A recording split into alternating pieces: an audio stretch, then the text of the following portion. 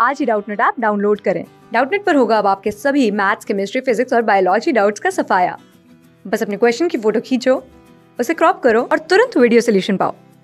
Download now. Hello students in this adjoining figure,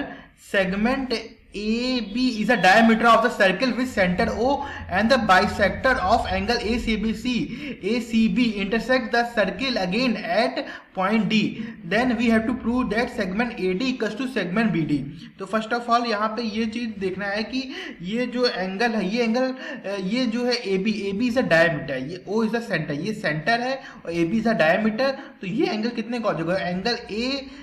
C B is equal to 90 degree ये 90 degree का हो जाएगा। यहाँ पे लिख देंगे एंगल सी की जो वैल्यू हो जाएगी, वो 90 डिग्री हो जाएगी। बिकॉज़ यहाँ पे लिखना पड़ेगा angle A C B is equal to 90 degree यहाँ पे ये लिखना का बिकॉज़ ऑफ़ यहाँ मेंशन करना होगा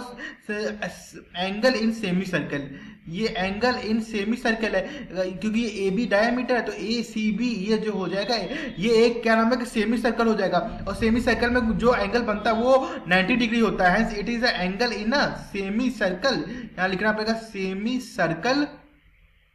semi circle A C B ये semi circle A C B है, इसलिए एंगल ए सी बी की जो वैल्यू हो जाएगी वो 90 डिग्री हो जाएगी। अब यहाँ पे ये लिखा है कि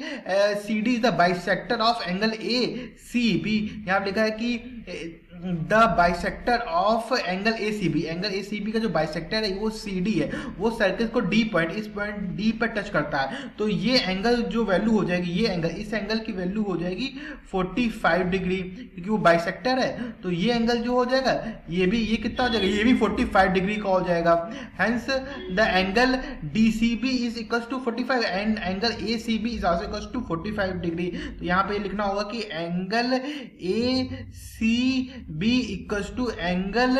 D C B is equal to half of 90 degree because of the bisector और इक्वल टू 45 डिग्री तो ये क्या नाम है कि 45 डिग्री के हो जाएँगे। अब यहाँ पे ये देखना है कि कि एंगल दोनों बराबर हो गए तो अब यहाँ पे ये जो एंगल है ए सी बी इसका जो, ये किस कॉर्ड में बन रहा है? ये ए डी कॉर्ड में बन रहा है। This is the chord A D ये एक कॉर्ड ए डी है तो कॉर्ड ए डी पर, क्या नाम है कि सेंटर पर जो बना एंगल है, वो है angle A O D this is a angle made by the chord या arc A D at the centre और at the same time the angle made in the circle by the arc A D is angle A C D तो ये angle क्या हो जाएगा? यहाँ पे according to inscribe angle theorem according to inscribe angle theorem the angle A C B is half of angle A C D is half of the measurement of arc. AD जो arc AD है उस, उसका उसका measurement होगा। अब यहाँ पे ये लिखना पड़ेगा according to the inscribed angle theorem यहाँ लिखना पड़ेगा inscribed inscribed angle angle theorem according to the inscribed angle uh, the angle theorem the angle inscribed in a circle is half of the central angle that subtends the same arc on the circle यहाँ पे A D जो same arc है और इस पर centre पर बना जो एंगल है वो ए डी है तो उसका हाफ़ हो जाएगा जो उसी सर्किल पे उसी uh, आर्क द्वारा बनाया गया जो सर्किल पे एंगल है वो ए सी डी है उस, उसके बराबर हो जाएगा तो अब यहाँ पे क्या नाम ये लिख सकते हैं कि एंगल. सेम सेम लगाएँगे कि डी सी बी अब ये जो एंगल डी सी बी है angle D C B is also is half of the measurement of arc arc B D ये जो आर्क बी डी है, उस, उसका आधा हो जाएगा because of central angle theorem यहाँ पे लिखना पड़ेगा इंस्क्राइब इंस्क्राइब्ड एंगल थ्योरम यहाँ लिखना पड़ेगा inscribed inscribed angle theorem because of inscribed angle theorem according to the inscribe angle theorem तो यहाँ पे ये देखना पड़ेगा कि ये जो एंगल है तो ये एंगल क्या हो जाएगा? 90 डिग्री हो जाएगा और ये एंगल है ये भी एंगल 90 डिग्री हो जाएगा। और ये जो आर्क है, ये आर्क बी डी यहाँ आर्क जो है बी डी आर्क है। तो इस बी डी आर्क द्वारा सेंट्रल पर बनाया गया जो एंगल है, वो है बी ओ डी और इसी बी डी आर्क द्वारा सर्किल पर बनाया गया जो एंगल है, वो है B C D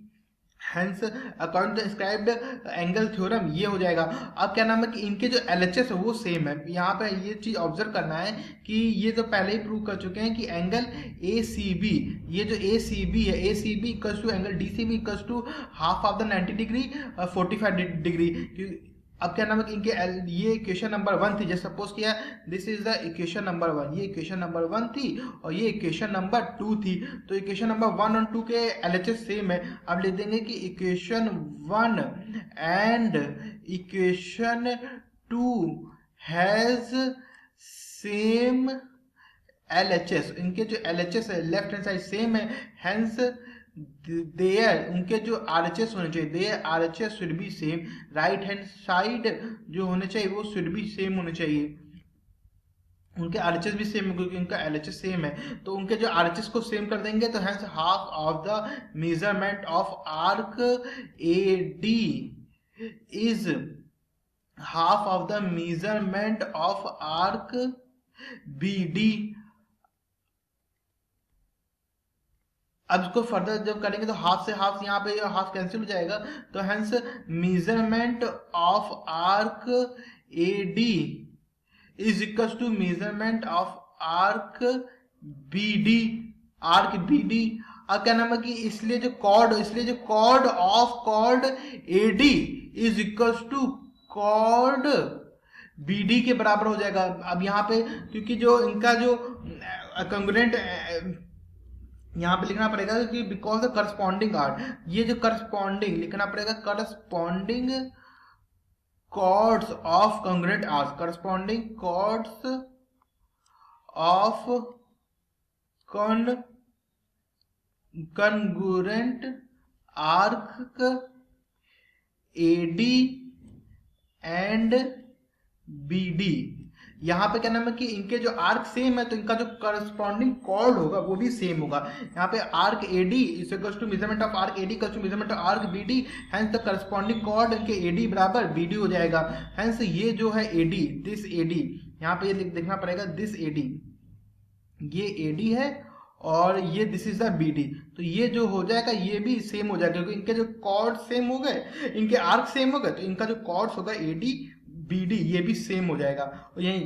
ये क्वेश्चन में प्रूव करना था कि segment A D to segment B D thank you class six से ट्वेल्थ से लेके NEET I I T JEE mains और एडवांस के लेवल तक। दस मिलियन से ज़्यादा स्टूडेंट्स का भरोसा। आज ही डाउनलोड करें डाउट नेट आप या व्हाट्सअप कीजिए अपने डाउट्स आठ चार सौ चार सौ चार सौ पर।